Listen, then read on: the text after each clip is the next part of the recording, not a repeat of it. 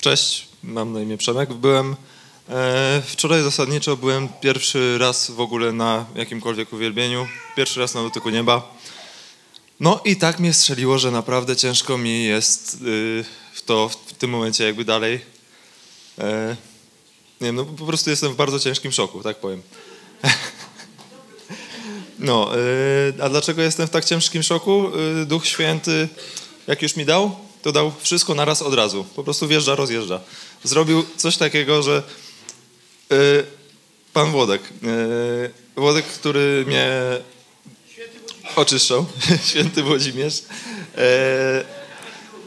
tak wlał we mnie tak dużo tego Ducha Świętego, tak po prostu dokładnie mam wrażenie mnie oczyścił, że wręcz y, po tym, jak już jakby padłem na ziemię, trochę mnie potelepało, wiadomo, wstałem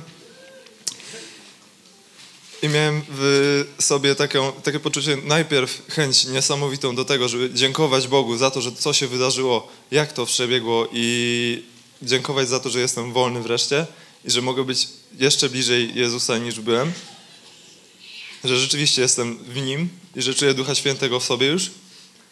Eee, no i tak naprawdę po pół godziny weszło we mnie jeszcze kolejne przeświadczenie, że kurczę, ja jeszcze więcej potrzebuję, nie? Jakby to jest y, mało to, że tylko zostałem oczyszczony, ja już muszę dalej, dalej tego Ducha Świętego rozpo, rozprowadzać. E, zapytałem się y, kolegi Fi, Filipa, który też tutaj był właśnie usługujący podczas tego dotyku nieba. E, słuchaj, no tak mnie rozpiera po prostu od środka, proszę pozwól mi jakoś pomagać, nie? Gdzieś, nie wiem, chociaż do, do łapania, czy no do czegokolwiek, jak, jak się mogę tu przydać, nie? No i on mi pokazuje, Włodek akurat sam, e, e, kompletnie sam e, jakby udzielał kolejnych oczyszczeń, kolejnych pomocy. No i zwyczajnie zacząłem się modlić razem z nim i to działało.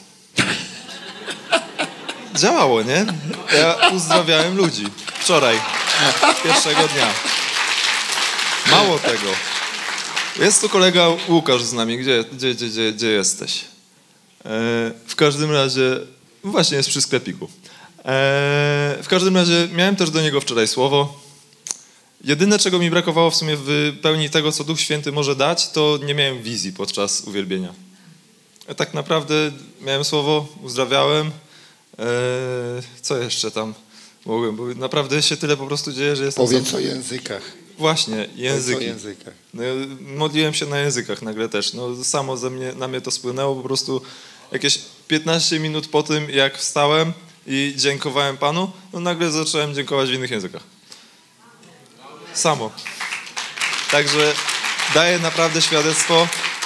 Jeszcze, naj, mm, jeszcze co jest y, kolejnym świadectwem, to to. Największa bomba. Ja mieszkam na y, Kaszubach. Włodek jest ze Śląska. Nie mamy prawa się w żaden sposób znać. Nigdy w życiu się nie spotkaliśmy. Znam tego człowieka od pięciu lat ze snów. Amen. I wiecznie trzęsłem przed nim, po, przed nim zawsze trzęsłem po prostu gaciami w tych snach. Dosłownie. Po prostu zawsze się go bałem. A wiem teraz, że to te złe duchy, te demony, to złe, co we mnie się działo, po prostu przed nim trzęsło gaciami, nie? Wiedzieli po prostu, że on przyjdzie, zrobi robotę tak i będę święty. I o tym Amen. już wiem. Dziękuję. Amen.